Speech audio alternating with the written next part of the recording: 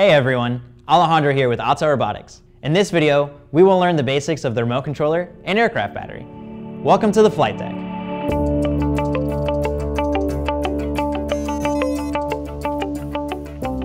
To remove the battery from the aircraft, unfold the front arms, then, while holding the aircraft, press down on the battery release button and slide the battery towards the rear of the aircraft. Ensure that you power down the aircraft before removing the battery. The aircraft battery is a rechargeable 4300 mAh LiPo battery, specially designed for EVO.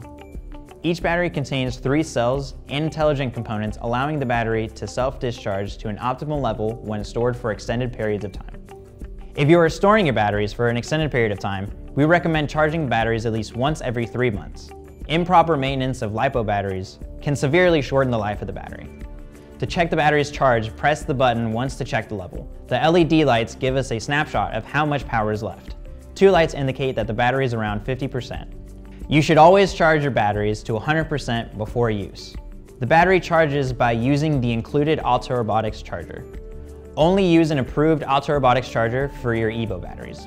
To charge the battery, plug the charger into any standard home outlet in between 110 volts and 240 volts. Flip open the protective cover, then attach the end of the charger to the battery and slide the connector onto the battery terminal. The LED lights on the battery will now begin to trickle up.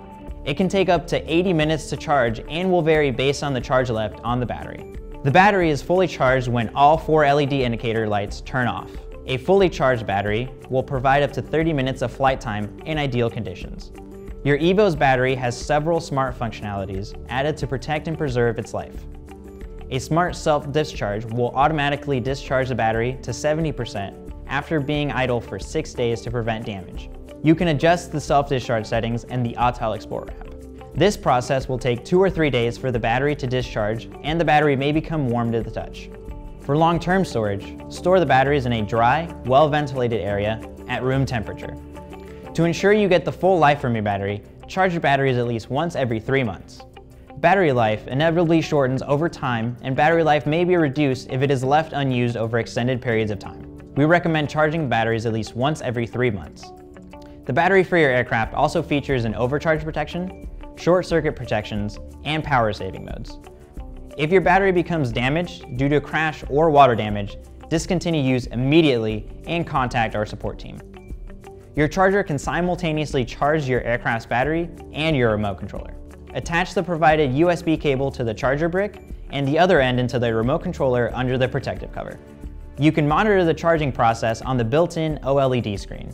The remote controller can take up to 150 minutes to fully charge. The runtime on a fully charged remote controller is 3 hours. When the battery is fully charged, the remote controller will beep twice. And here's a pro tip. You can charge your remote controller using a battery bank. This can come in handy if you forget to charge your remote controller before flight.